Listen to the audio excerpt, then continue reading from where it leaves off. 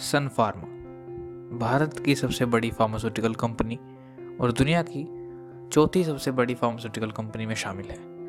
Sun Pharma generic medicine produce करती है और दिलीप शांघवी, सन फार्मा के फाउंडर और सीईओ हैं। दिलीप शांघवी 2015 में इंडिया के रिचेस्ट मैन थे और 2016 में उन्हें पद्मश्री से नवाजा गया था। दिलीप शांघवी जी का जन्म गुजरात के छोटे से इलाके अमरेली में हुआ था। उन्होंने बैचलर्स ऑफ़ कॉमर्स की थी यूनिवर्सिटी ऑफ़ कलकत्ता से। उनके पिताजी होलसेल जेनरिक ड्रग का बिज़नेस करते थे। और उनके पिताजी के साथ वो उनकी हेल्प किया करते थे।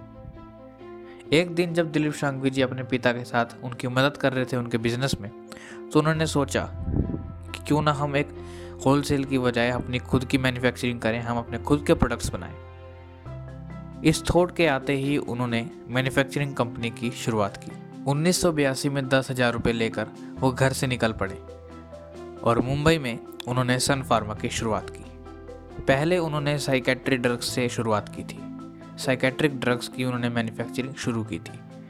1987 के अंदर उन्होंने कार्डियोलॉजी और 1989 के अंदर उन्होंने गैस्ट्रोएंटेरोलॉजी के प्रोडक्ट्स भी बनाने शुरू कर दिए थे। आज सन फार्मा मार्केट लीडर है साइकेट्रिक न्यूरोलॉजी कार्डियोलॉजी और ऑर्थोपेडिक्स के प्रोडक्ट में। 1994 के अंदर सन फार्मा स्टॉक एक्सचेंज में लिस्टेड हो गई थी।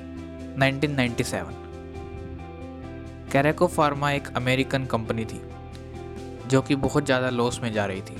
दिलीप शांघवी जी के पास जब ये खबर पहुँची कि वो कंपनी लॉस में जा रही है तो उन्होंने अपना बिज़नेस माइंड यूज़ करके उस कंपनी को ख़रीदने की कोशिश की। और दिलीप शांघवी जी का ये डिसीज़न काफ़ी ज़्यादा अच्छा था, क्योंकि वो चाहते थे कि इंडिया के साथ साथ अब हमारी सन फार्मा अमेरिका के अंदर भी मार्केट कैप्चर करे।